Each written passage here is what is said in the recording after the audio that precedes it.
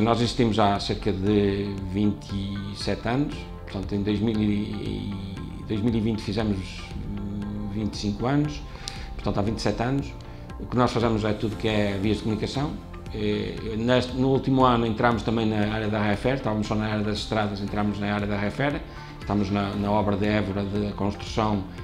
de uma linha que dá de Sines à Espanha para, de alta velocidade para mercadorias e, e, estamos aí. Portanto, mas tudo que é via de comunicação fazemos tudo. Já estivemos numa área mais que era a área dos verdes, agora estamos menos ou quase zero, estamos mais na área das manutenções de obras de arte, de, de guardas de segurança, sinalizações provisórias, mas fazemos isto por todo o país, portanto é esta a nossa atividade e é aqui que nós nos queremos centrar e focar, é esse o nosso foco, é as vias de comunicação. Eu costumo dizer a, a todos aqueles que vêm e que vêm trabalhar com, connosco, de que nós, claro que a mim fica-me bem dizer que somos os melhores, e acho que somos, mas eh, nós não somos nem melhores nem piores, mas somos diferentes. Isso somos. Isso é ponto assente, somos diferentes, gostamos de fazer diferente, gostamos de estar no mercado diferente e daí a forma como estamos no mercado que nos permitiu, felizmente, ainda hoje estarmos aqui. Porque se fôssemos eh, digamos que uma empresa de, comercialmente que utilizasse os métodos tradicionais, hoje se calhar já não estávamos cá. No entanto, há três princípios que nos norteiam desde a nossa Constituição. Pontualidade, a disponibilidade e a qualidade foi sempre aquilo que nos norteou. Ainda hoje é aquilo que nos norteia. O cliente primeiro e, portanto, sempre com muita pontualidade, muita disponibilidade e muita qualidade. E todos os nossos colaboradores, quando vêm para entrar nos quadros da VLC, sabem que isso que é ponto assente e que é, é digamos que os objetivos da empresa e, e, focados no cliente, mas com esses três princípios bem vincados. É isso que nos faz a diferença e é isso que ainda hoje nos permite que os nossos clientes, muitas vezes olhando um bocadinho ao preço, mas também não, não sendo o preço uh, só, olhem à credibilidade e à pontualidade como são servidos e como, como, como eventualmente têm um produto final e como conseguem depois atingir os objetivos deles, porque muitas vezes nós somos parceiros, porque sabem que somos uma empresa que, de confiança. Para além dos imigrantes, nós também damos oportunidade às, àqueles colaboradores que estão fora do Baião e que querem vir para o Baião. Este mês, portanto no início deste mês, dia 2 de maio, recortamos um quadro que estava numa multinacional é, a trabalhar fora de Baião, neste caso no Porto, e recrutámos um quadro superior para que era uma lacuna que nós tínhamos e, e que fomos à procura e descobrimos um quadro superior de Baião e, portanto, conseguimos aliciá-lo, digamos assim, e fazer-lhe uma proposta de trabalho que conseguisse vir para Baião, acompanhando, neste caso, as condições de, de, de, da multinacional. Depois, em relação aos estrangeiros, depois nós fomos obrigados, fruto da falta de mão de obra, fomos obrigados a recrutar estrangeiros porque se me disserem se é a nossa vontade principal, não é. Gostávamos imenso de ter portugueses, porque os portugueses sempre nos dão eh, maior tranquilidade para o futuro da empresa. Para a gente estamos a dar formação e a empresa ter depois pessoas formadas para que no futuro possamos assegurar a continuidade da empresa. Mas os estrangeiros foi aquilo que nós, o mal menor, chamamos de cuidado paliativo, que é para o imediato e para os próximos anos resolvemos o problema, no entanto, se eles eh, um dia quiserem ir ou para a Europa ou para o país deles, nós vamos ficar aqui é, um bocado, digamos que, desarmados. Sendo certo que a nossa política, para além de, da política de os é tentar convencê-los a trazer famílias. Para quê? Para primeiro eles se sentirem confortáveis e estarem cá e se fixarem cá, e depois com as famílias é muito mais difícil de saírem do que quando estão individualmente. E, portanto, já tivemos um ou dois que saiu porque foi para a Itália ou para a Alemanha, porque os salários são mais aliciantes, é, é normal, se os portugueses vão, porque é que não de ir os outros? No entanto, estamos a tentar fazer todo o esforço, àqueles que cá estão e que nós tentamos fixar, que tragam as famílias. Nós temos hoje temos três nacionalidades, senegaleses, eh, temos indianos e temos vietnamitas. Portanto, os vietnamitas hum, vieram diretamente do Vietnã, os últimos recrutados por nós, o que foi, digamos, uma coisa, um processo muito complicado, porque infelizmente a burocracia foi muito, quase nove meses para conseguirmos trazer as pessoas. Os indianos vêm de outros locais do país e fomos lá buscar dois ou três e depois a seguir eles tratam de passar a informação uns aos outros e, e conseguimos. Os senegaleses também estamos aí, nós temos o nosso Departamento de Recursos Humanos que está muito em contacto com as autoridades para as imigrações e sabendo das autoridades para as imigrações de que nós estávamos disponíveis a admitir, eh, dois senegaleses estavam inclusive a dormir na rua no Porto, fomos contactados no nosso Departamento de Recursos Humanos a dizer que eles estavam se nós queríamos dar disponibilidade, nós precisávamos, porque é que não, porque é que não havíamos de ajudar, porque é que não havíamos de estar. O nosso Departamento de Recursos Humanos aí é muito eficiente, imediatamente tomou eh, as decisões e foi, foi buscá-los, damos alojamento, que é o que damos a todos, então, os primeiros seis meses é da responsabilidade da Vialcil, dar alojamento eh, e depois, passados seis meses, cada um, eles fazem o que quiserem, ficam na casa, mas é da responsabilidade deles, ou têm outras casas, no caso dos indianos já têm outras casas, e depois ainda é, damos-lhe condições que é o acompanhamento. Temos o nosso Departamento de Recursos Humanos e a nossa responsável, que eu costumo chamar que é a tutora, para tudo. Nos primeiros seis meses estamos disponíveis para tudo. Para levar ao médico, para ir aos vistos, para, para tudo. E, portanto, para as compras, até eles serem completamente autónomos. Felizmente, e digo isto com alguma alegria, à data de hoje, claro, é que quer a sociedade de Baião e as pessoas aqui da região e de Ancedo, neste caso onde, onde estamos sediados, quer eles próprios, houve um entendimento muito bom e não tem havido mínimo dos problemas, as pessoas estão completamente integradas, vão aos cafés, vão às compras e isso para nós deixa-nos satisfeitos. Portanto, é para nós um motivo de, de, orgulho, sendo isso, sabendo isso, para além de estarmos uh, a colmatar uma lacuna da Vialcil, que é a falta de mão de obra, depois a seguir também estamos a integrar as pessoas na, na, na comunidade e para nós também nos deixa orgulhosos. A língua é um condicionante e, nós eh, temos essa condicionante porque muitos deles nem inglês falam, portanto não falam português nem inglês. Sendo certo que nós vamos dando algumas aulas de português, sempre que é possível e, fruto, e o trabalho deixa, temos que ser corretos, sempre que é possível e o trabalho deixa, damos-lhe algumas aulas de português. No entanto, os, os colegas da Vialcil perceberam, e fruto de, daquilo que nós fazemos, da pedagogia que fazemos dentro da empresa, que precisávamos daquela gente e tínhamos, temos que os tratar bem. Para além de, de, de, digamos, da exigência que nós fazemos enquanto administração que seja assim, os próprios colegas já, já têm esse cuidado de, perceber o que é que gostam para comer, o que é que não gostam, o que é que podem comer, o que é que não podem, e, pronto, e os ajudar, é, é preciso ir ao médico onde é que é, é preciso compras onde é que é, ajudam em tudo. E, portanto, depois a língua torna-se difícil, mas com o tempo acho que as coisas têm corrido até bem demais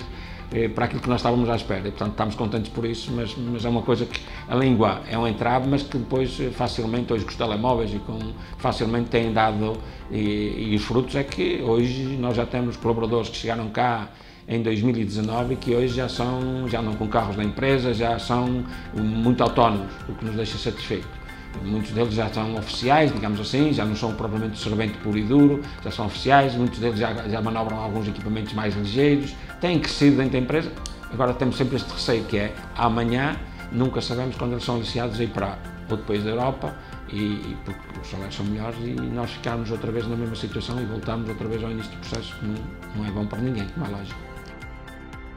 ideal é isso, ou seja, nós para colmatar a nossa lacuna vial-sil e depois ajudar também, porque somos um conselho como, tal como muitos outros no nível do país com a desertificação e tentarmos ao máximo e por isso também queremos que, que, que as famílias venham. Sendo que já temos um vietnamita que tem cá a esposa, também trabalha, é, acho que num restaurante, e que os filhos já andam na escola. Aliás, os filhos hoje são professores dos pais no inglês. Portanto, são excelentes alunos, segundo que, que, que, me vão comunicando, e já eles próprios ensinam os pais acerca do, do, do português. Nós trabalhamos em todo o país, inclusive já tivemos operação nos Açores, que cancelamos e que agora acho que, por, por aquilo que foi dado a conhecer pelo, pelo, Departamento de Produção, vamos ter lá mais uma atividade, mas durante cinco anos tivemos nos Açores. Agora, nós corremos todo o país e eu costumo dizer que nós, é, em todo lado, existe uma carrinha da Vialcil, em todo, onde quer que passamos, existe uma, uma carrinha, pessoas a trabalhar da Vialcil. Como trabalhamos em todo o país, é claro que nos orgulha levar o nome de Baião, embora muitas das pessoas, muitas vezes falam-se na Vialcil, nem sabe que a Vialcil é de Baião, porque, é, digamos, para, para, para, o cidadão comum é, é, é, secundário, o nome, e para os nossos clientes o nome é que conta e a qualidade da empresa, mas deixa-nos orgulhosos, como é lógico, quando eh, vemos notícias e, que falam da Vialcil e falam de Baião, é claro que nos deixa orgulhosos. Nós não vivemos de prémios, mas gostamos dos prémios e só não gosta mesmo quem, digamos que for, seja completamente alheio ao que anda a fazer na sua atividade profissional. Portanto, nós gostamos imenso de prémios, sendo certo que, e ainda mais vindo de uma entidade que é como a Ascendi, que é a segunda maior concessionária do país. A Ascendi tem uma forma de abordar, de abordar a, a, questão da segurança muito própria, eh, são pioneiros, e sem dúvida nenhuma, o que faz com que nós, como fornecedores, tenhamos que ir atrás e somos obrigados a acompanhar as exigências. E depois disso tem uma, uma das coisas que tem fora do comum, que é uma avaliação permanente das condições de segurança e da forma de trabalhar em segurança, higiene e segurança no trabalho das empresas. Nós é o terceiro ano consecutivo que ganhamos.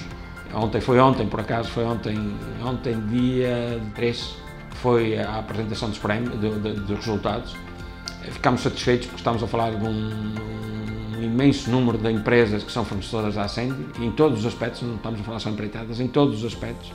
e portanto deixando-nos satisfeitos. Também nos dá mais responsabilidade que eu costumo dizer a todos os nossos colaboradores e aos responsáveis da produção e da segurança. É claro que é bom ganharmos prémios, mas depois damos mais responsabilidade, porque temos mais olhos em cima de nós, o próprio cliente está mais em cima de nós, os nossos concorrentes estão mais a ver o que é que nós andamos a fazer e como fazemos, e isso deixa-nos orgulhosos mas dá-nos muita responsabilidade. É, é, sem dúvida nenhuma um motivo de, de, orgulho para nós e é um cartão, um, excelente cartão de visita para a nossa empresa, nós podermos dizer que somos, por terceiro ano consecutivo, a melhor empresa a nível de higiene e segurança no trabalho a trabalhar para a Ascend. Muito bom mesmo.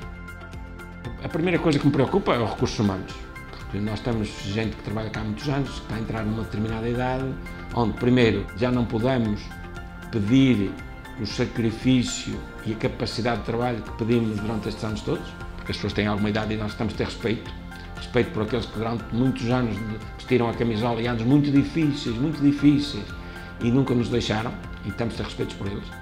E, portanto, nós gostávamos de ter recursos humanos para formar, para poder dar uma vida mais calma, continuando a trabalhar na, na vida ativa, mas uma vida mais calma a esses colaboradores. E por isso é que estamos a recrutar e gente nova de preferência para formar, para ir substituindo, que nos consegue formar as pessoas de um dia para a noite. E, e isso é o que me preocupa para os próximos anos, porque a nível de trabalho, eu costumo dizer, nós estamos felizmente, ou infelizmente, mas eu digo felizmente, muitas autoestradas, muitas estradas nacionais, vamos ter sempre muita conservação, alguém vai ter que fazer o trabalho porque há trabalho que não conseguimos fazer em teletrabalho, nem através de meios digitais, e portanto alguém vai ter que o fazer, Portanto, aqui, isso é uma das coisas que não me preocupa muito a nível de, de a, do futuro, a nível de trabalho, porque acho que vai haver. Se não for para a Bialcil, deve ser para outras empresas, mas vai haver. Portanto, nós só temos de estar, ter capacidade para aguentar e para estar ao nível de que os nossos clientes e o mercado exigem. Se fizermos isto, vamos ter esse trabalho, se não for mais ou menos, mas vamos ter. Os recursos humanos é o que me preocupa. E depois, também dar melhores condições a quem está connosco, quer aos nossos clientes, quer aos nossos parceiros, em todas as áreas, parceiros públicos, à, à banca e quer aos nossos fornecedores. Pronto. E queríamos cada vez dar melhores condições, e, se calhar ter um tratamento melhor ainda do que o que temos hoje, porque há sempre aspectos que podemos melhorar, não é? mas eh, era isso que nós pretendemos. E por isso é que, a nível de recursos humanos, Estamos, tentamos eh, fazer instalações novas para o,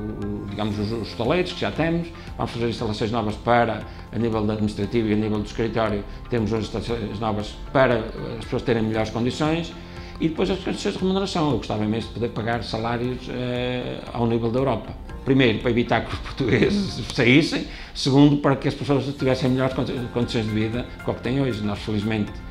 eh, acho que não estamos ninguém a ganhar o ordenado mínimo nacional,